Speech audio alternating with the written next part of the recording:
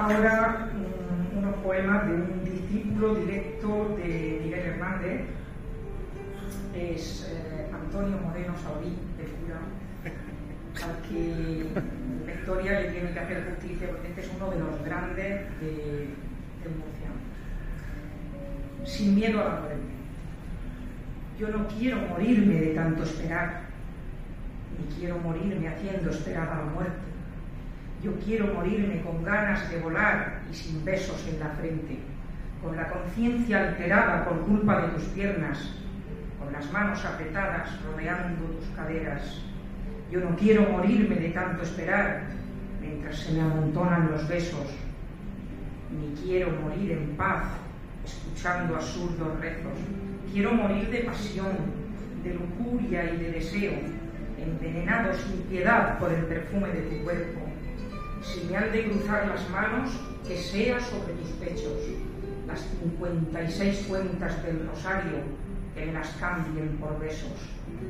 Yo no quiero morirme de tanto esperar, ni quiero morirme haciendo esperar a la muerte, que no me dan miedo los infiernos, tan solo me asusta no verte, que mi locura es tu alma y mi pecado tu cuerpo, que solo se calma mi sed cuando bebo de tu sexo, que tus piernas y tus pechos son el único cielo en el que creo. Yo no quiero morirme de tanto esperar, ni quiero morirme haciendo esperar a la muerte. No quiero que me perdone ningún Dios, yo solo quiero quererte.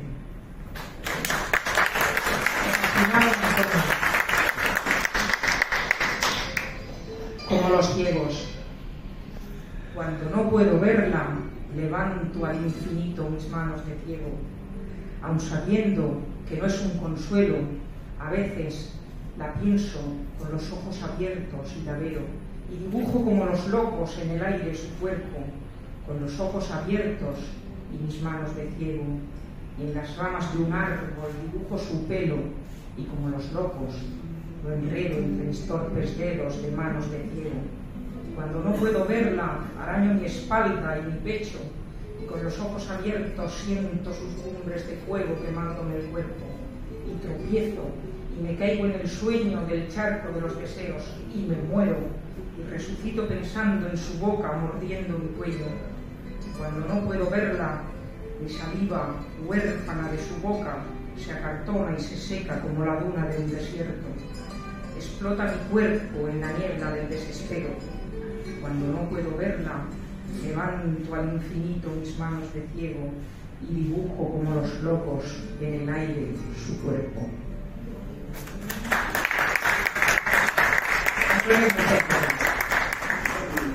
Y ahora para terminar, esto eran todos los poetas locales, y voy a terminar con el de Marwan, que fijaros lo que dicen. ¿Quieres salvar el amor de, tu vida? Fijaros. Dice así. ¿Quieres salvar el amor de tu vida? ¿Quieres hacerlo de verdad? Pues hazlo con palabras que al caer letra a letra de tu boca vayan transformando los pájaros azules de la honestidad. Díselo al oído, mira, esta es mi promesa, aquí la tienes y aquí estará cada día. Entrégasela como un polluelo oculto en tus manos y sigue hablando no me borraré cada vez que tenga miedo a las alturas, a la primera cuesta que le salga el paisaje. No es tan difícil, ¿ves? Si quieres salvarlo, deshace el pasado y tu forma de romperlo. Vuelve sobre tus pasos, mira tus huellas, los errores impresos sobre la tierra y arréglalos con paciencia de artesano, que es como se ganan y merecen las metas más altas. Pon la palabra perdón sobre tus actos, y ten un respeto por él, por ella. Abandona la calle de las justificaciones si la ingratitud ha sido tu sendero y ya que la disculpa vaya presentable. Lleva tus palabras a un buen sastre, vístelas con el traje sedoso de la sinceridad y pide perdón como Dios manda, con la humildad entre las manos y el corazón abierto enfrente. Los dos sabemos que a menudo las disculpas son regalos vacíos formas de atrapar a otra persona en una jaula de palabras recitadas solo para volver a conseguir sus favores. Quien quiere a alguien cumple, se empapa en el líquido viscoso de la duda y se lanza a corazón abierto a la piscina.